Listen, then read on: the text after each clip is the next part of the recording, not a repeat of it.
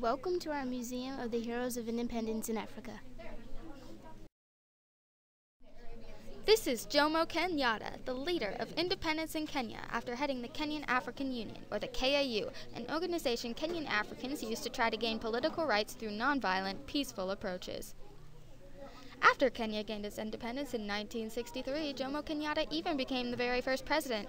Kenya grew economically and had much fewer revolts after he became president. He wasn't ever even voted out of office. Wait, wait, wait, wait, wait. A second. You haven't even said anything about how he became a dictator. That's right. After he became president, Jomo Kenyatta's supposedly free elections were not free at all. He banned the other political party, which was his opposing party, from even voting. That's how he held on to power for his entire life. Well, but. He even amended the Kenyan constitution to give himself more power than he already had. Um, let's move on, shall we?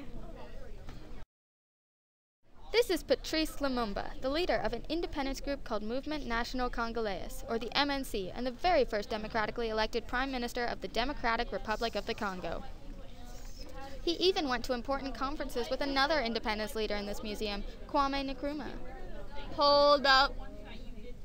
You never said what happened to the Democratic Republic of Congo after he became president. Some of Patrice Lumumba's decisions led almost the entire country into rebellion. Riots broke out everywhere and dozens of people were killed.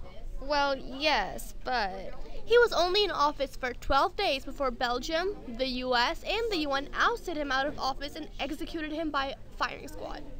Oh, uh, this, this next portrait looks uh, quite interesting.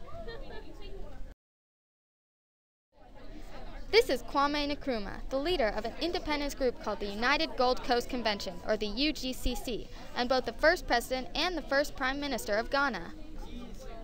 He promoted women's suffrage, helped unite all the Gold Coast countries, learned to govern, and got the United Kingdom to grant his nation complete independence. Okay, wait up. You haven't said anything about how he was ousted out of office. That's right. Kwame Nkrumah made some bad decisions while he was in office, such as spending all of Ghana's funds on capital goods. He was ousted out of office in 1966 and had to flee to Rhodesia, which is now Zimbabwe.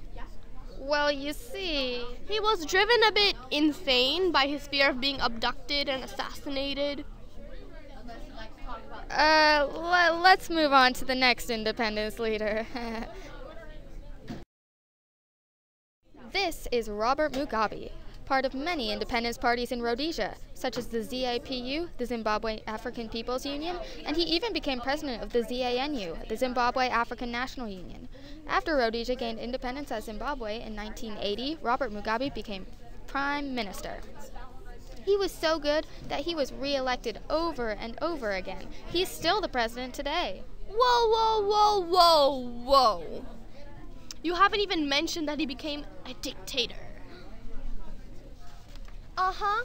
That's the real reason he's continued to hold on to power for so long. He has rigged several elections and has barely allowed the other party to participate in the government at all.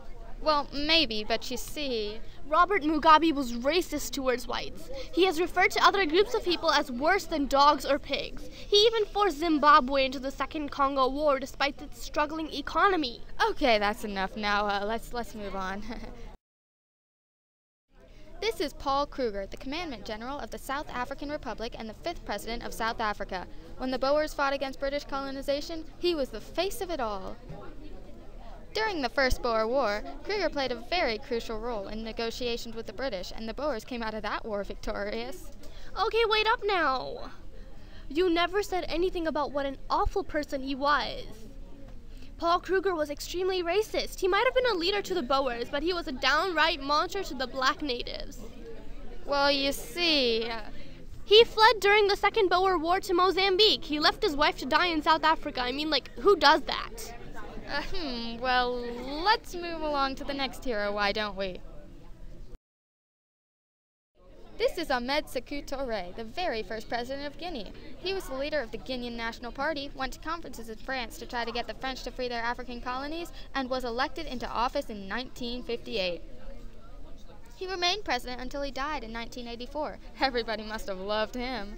OMG. Do we really have to go through this again? He was a dictator just like practically everyone else in this museum. That's how he held on to power for so long. He banned the opposing political party from voting. He put people who opposed him in prison or exiled them from Guinea.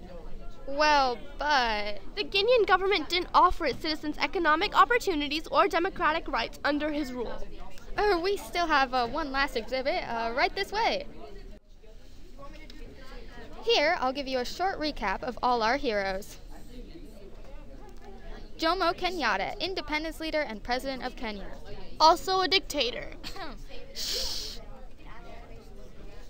Patrice Lumumba, independence leader and prime minister for the Democratic Republic of the Congo. Executed by firing squad. you didn't mean to say that, I'm sure. Kwame Nkrumah, independence leader and president of Ghana. Ousted out of office and driven insane. Robert Mugabe, independence leader and prime minister of Rhodesia, also known as Zimbabwe. Also known as a dictator. Um, Paul Kruger, commandant general and fifth president of South Africa. Also an extremely racist monster. Ahmed Sekou Touré, independence leader and president of Guinea. Another dictator. Um,